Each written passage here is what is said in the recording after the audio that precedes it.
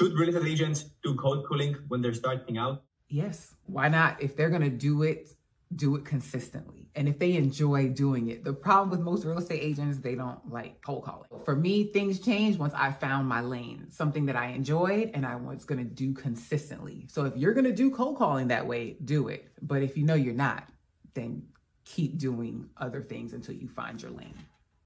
You just wrote a book and it just published and it's called The Ugly Side of Real Estate. Mm-hmm. So why focus on the ugly side and not just basically focus on the good side? Because they get all the good from social media and TV shows. They actually get a little too much good, and then agents get into this business and then they're hit the ugly side of the business, which is very realistic. Um, agents know about it. We talk about it amongst each other, but then new agents come in and they have no idea what to expect. And it takes some of those agents out. So I wanted to give them a real perspective, an idea of what to prepare for when you're coming into this business so that they can be successful.